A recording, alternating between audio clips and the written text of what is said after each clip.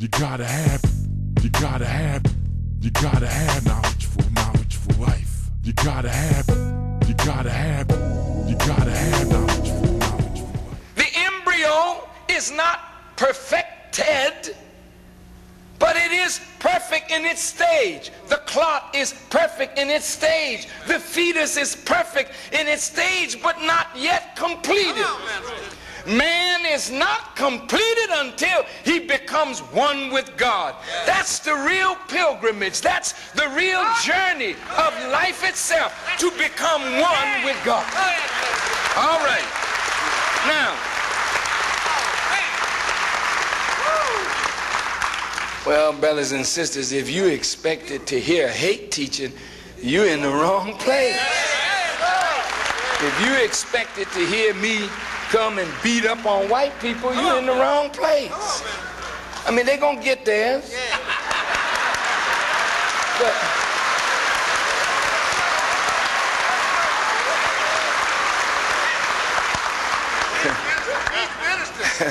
I, I just want to tell you how we can stop the killing. And white folks need to get involved in this. They need to get involved in the process. Because the very way that of civilization that they have established, I will talk about that. But I don't want to waste a lot of time because we don't have a lot of time. So let's let's go to the heart of it. What is life and what is death? So that we can stay in the process of life and avoid the process of death until it comes. It must come to all things that live, but we must not hasten it by our folly. Are you all right? Okay. What is life? The Bible says life is to know thee and thy son, Jesus Christ. That's a very heavy statement, Christians. How come you got to be asked to stop the killing if you know God Teach, minister, teach. and Jesus?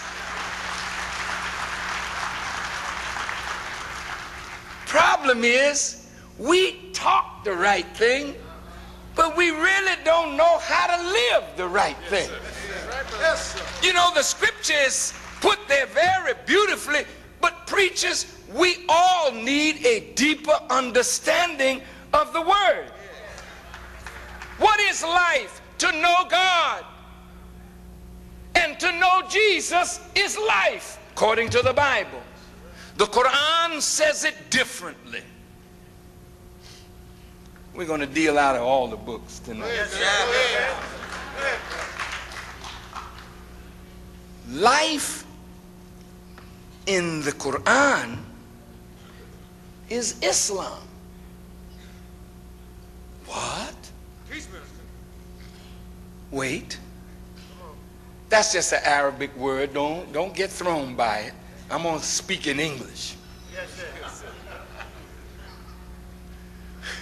The Quran says that on that day, no religion will be accepted from you but Islam. Uh, wait a minute, God.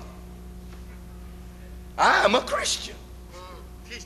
Are you telling me that you're not going to accept me except I change up? Teach. Well, if you if you as a Muslim think that, what about the Christians? Christians say you will not go to heaven. You will not be saved unless you accept the Lord Jesus Christ as your personal Savior. They're not wrong. The Muslim is not wrong. They're just talking over, under, and around each other and fighting each other in a foolish way.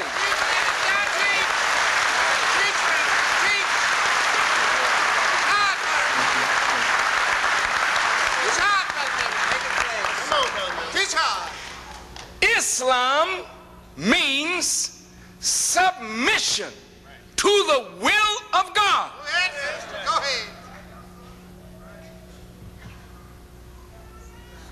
Well, now that sounds pretty good to me. That's right. How sound to you? Good. Yield. Submit your will to do the will of God. That's Islam. Yes, That's an Arabic word, but that's what it translates into. That's right. Well, let's leave off Arabic for a minute since we are not Arabic speaking people. No religion will be accepted from you but complete submission and obedience to the will of God. Jesus said, Not my will be done, but whose will? Thy will. Not be talked about, but be done on earth as it is in heaven. These ministers teach. We're saying the same thing. But you speak in Arabic, somebody speaking English, somebody speaking Greek, somebody speaking Hebrew, and everybody fighting each other over God they don't understand.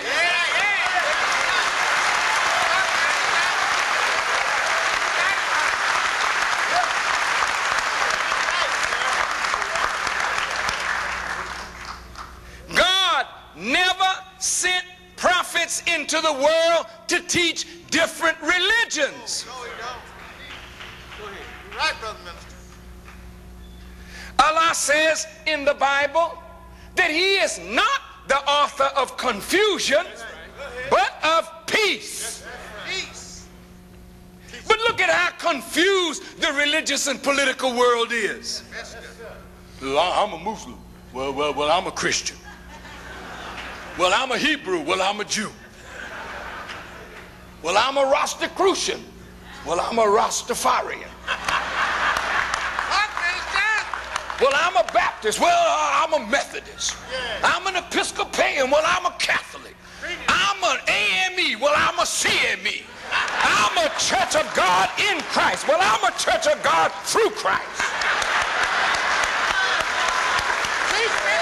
Look at this confusion. Well, you say,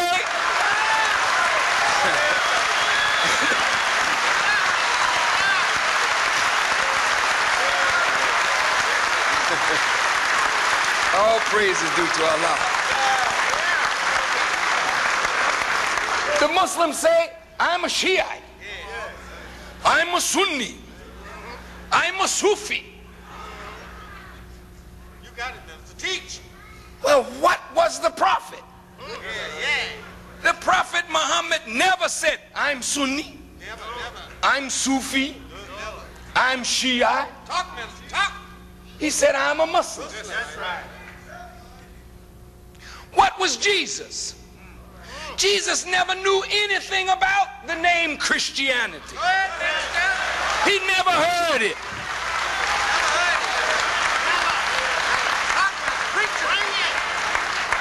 Jesus was long gone before Paul was out preaching and went into Antioch. And the Bible says at Antioch, they started calling the followers of Jesus Christians. Well, what are you fighting over? A name that Jesus don't know nothing about?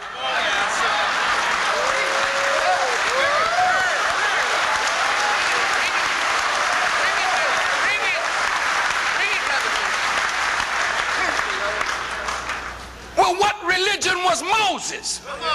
Come on. Bring Well, Moses was a Jew. Who said so? Bring it, minister. Bring it. Did Moses tell you my religion that I'm preaching is Judaism? Preach. Moses didn't know nothing about no ism. Talk to me. Go ahead, minister. If I'm lying, then stop me. That's right. That's. But if I'm telling the truth, then listen to me.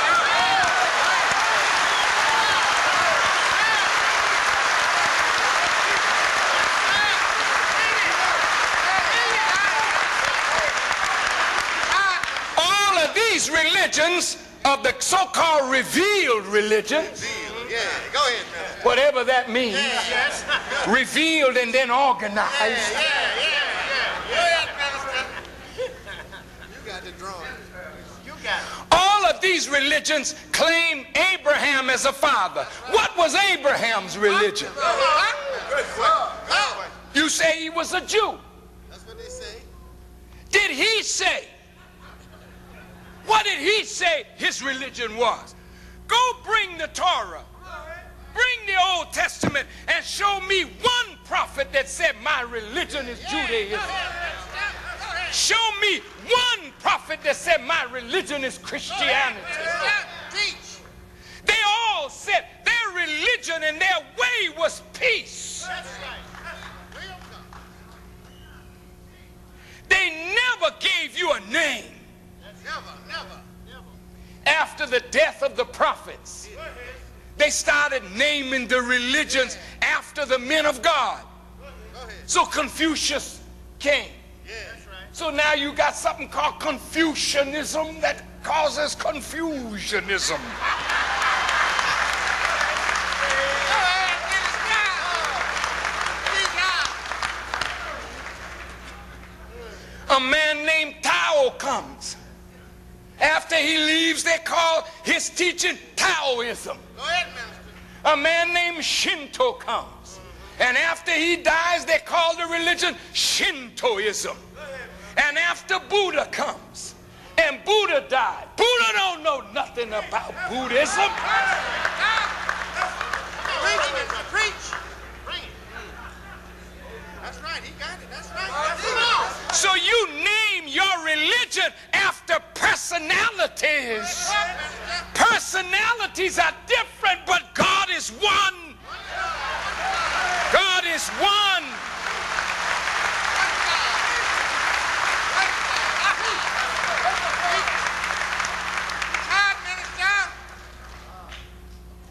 Since these persons appeared in different parts of the world at different times to perform similar yet different functions to ease contemporary burdens of the society, but to bring eternal truths upon which they taught a teaching that was good for that season. That's right, brother minister. That's right.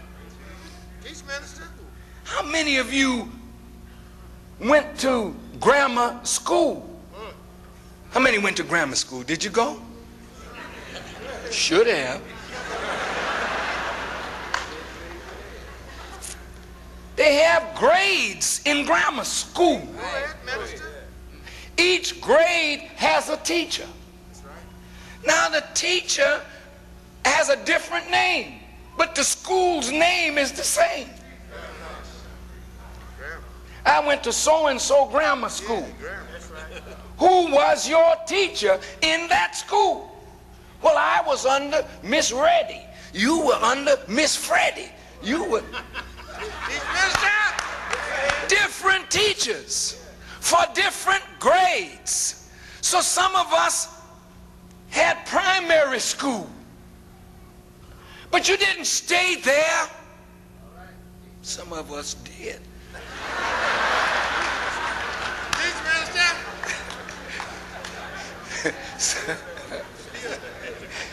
And you know something? If we had been taught right, what I'm saying right now is primary. It's nursery school knowledge. It's not graduated science. This is actually primary information. And it's so primary that it's sad that we have been so messed up, mistaught, wrongly educated, wrongly taught religiously that somebody has to come and give us primary knowledge. And you know what? It's this primary knowledge when it is accepted and internalized that stops the killing.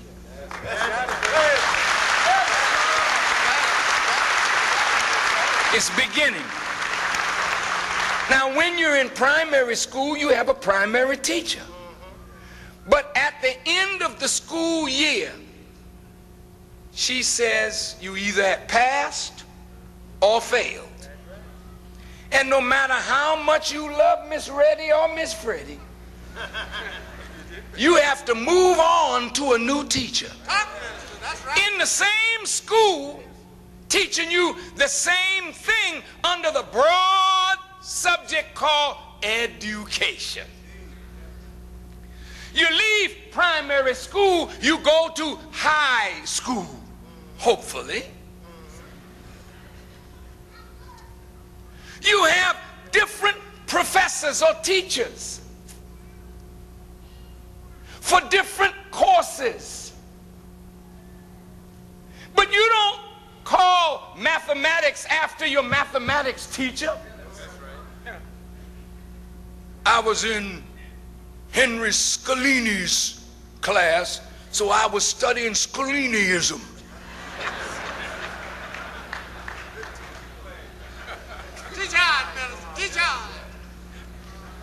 I was in Mary Schwartz's English class and I was studying Schwartzism.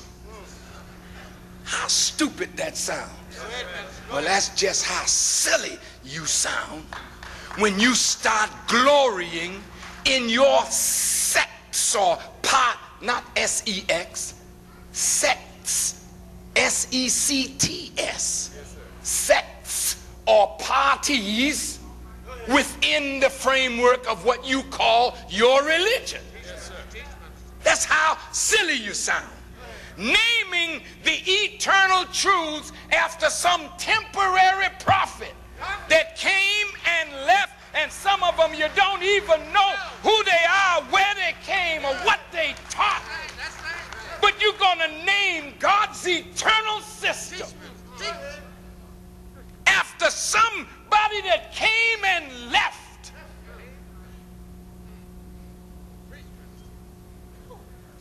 That's the work of Satan That's right. That's right. to confuse, Right, to create division, to to cause people to hate one another because of your different expression. Listen. Listen. I want to talk to you about stopping the killing. The Muslims pray in a certain way. The Jews pray in another way. Buddhists pray in another way. The Christians pray in another way. But prayer is germane to every religious teaching on this earth. You must pray. Now, if the Quran does not recognize and respect other people's way of prayer, Listen, listen, other people's rituals, Come on, minister. Come on. the Quran says, uh, Abraham talking,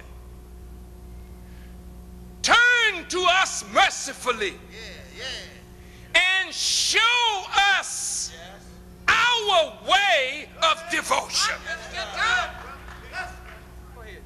Everybody's way of devotion is not the same as yours. Go ahead, minister. Go ahead. God gives you a way of devotion that is peculiar and specific to your needs at that time. But prayer is universal. Charity is universal. The struggle of evil, good against evil is universal. Teach hard, minister. Teach hard. Belief in God is universal. Belief in his angels and in a time of justice and judgment is universal.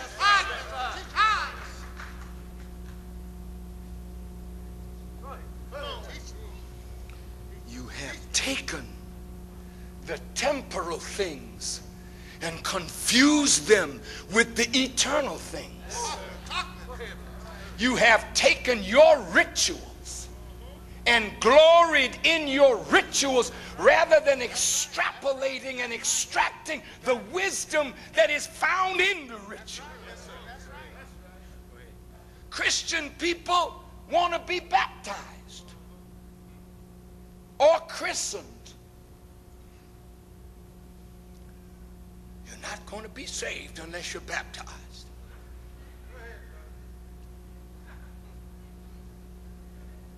So some of you dunk them in the water all the way under and pull them up. Some of you sprinkle a little water on the head and make the sign of the cross. But what about us Muslims? We don't baptize. Not in that way. But a Muslim can't pray till he washes. That's right, that's right, that's right.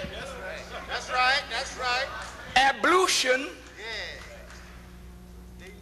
is the preparation for prayer. Washing is preparation for service to God.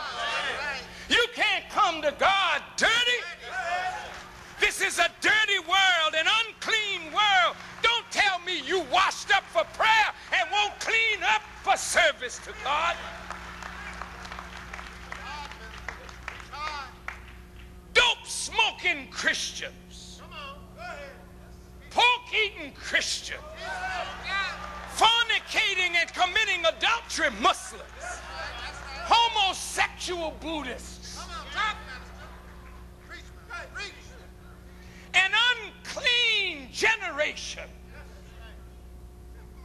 that washes to make prayer but won't clean the heart or clean the mind. There's a way that seemeth right unto a man, but the ends are the ways of death.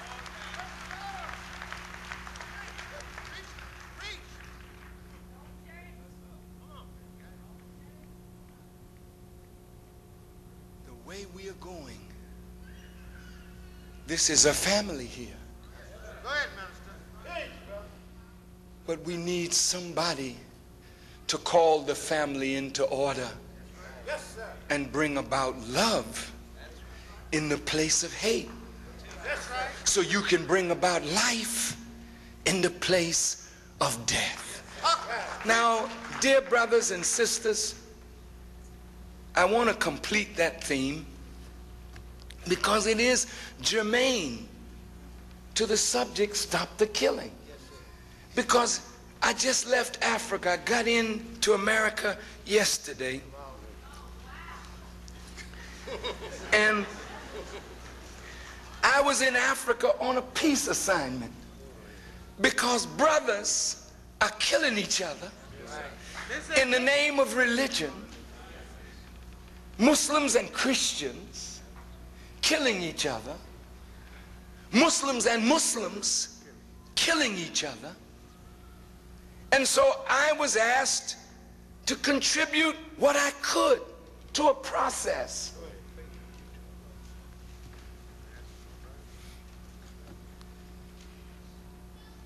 I had to come back and leave the process because of a series of engagements. But I saw death everywhere. People dying. Death today is glorified and life means nothing.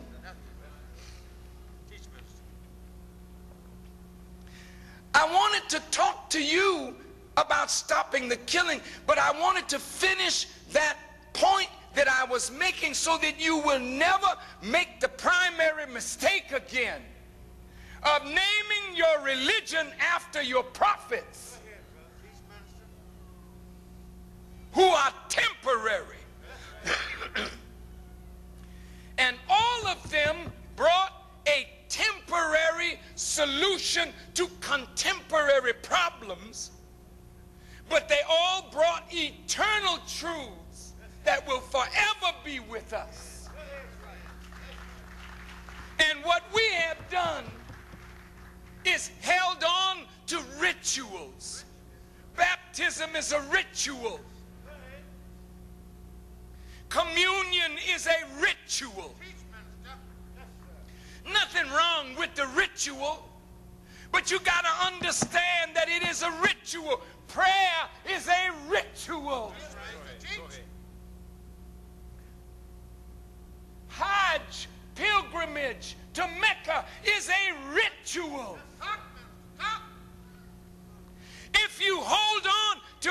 Rituals and don't look into the ritual to extrapolate what God intended by the ritual, then you die in the ritual. Listen to me.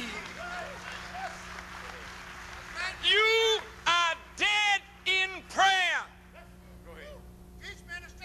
because you're praying and it don't mean anything until you get in trouble. Only then do you make your prayer sincere. Come on. Come on. Get down and pray, boy. That's right. Don't beat it. Don't beat it. Our Father, which art in heaven, hallowed be thy name, thy kingdom come, thy will be done on earth. Say your grace. Good meat, good God, let's eat. Teach, minister. The Muslim, Bismillah ar-Rahman ar-Rahim, Alhamdulillah, Rabbil Alameen, ar-Rahman ar-Rahim. Why you, why you rushing for? Go ahead. Go ahead. You're not thinking about what you're saying? God says in the Quran, He doesn't want you to pray and not be mindful of what you're saying. Go ahead, minister. This is a ritual, but the only way you can make prayer meaningful is to mean what you say. Go ahead. Go ahead, Assalam alaikum. Means peace be unto you. It is a prayer. I'm offering you God's peace, but do I mean it? If the words of my mouth and the actions of my tongue and my hands are detrimental to peace, then why pray at all? Go ahead. Go ahead. Go ahead.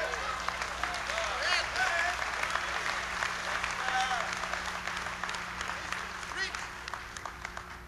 Preach. Preach. I'm charitable. I gave a hundred dollars tonight. That's very good. And that is wonderful. And I do thank you. And I thank the brother that didn't have anything to give, Right, right, right. who wished that he did have something That's that he right. could help Thank his brother. I thank him for the good thought. Yes, we do. But if I gave to be seen of men, Go ahead. That's right. You see me? See me?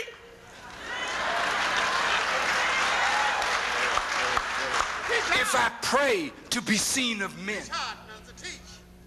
what good is my prayer? Yes. Or some of these brothers can lay a prayer on you. Oh, Heavenly Father. Oh, Heavenly Father. Look down upon us, Heavenly Father. Biggest hypocrite in the church sometimes.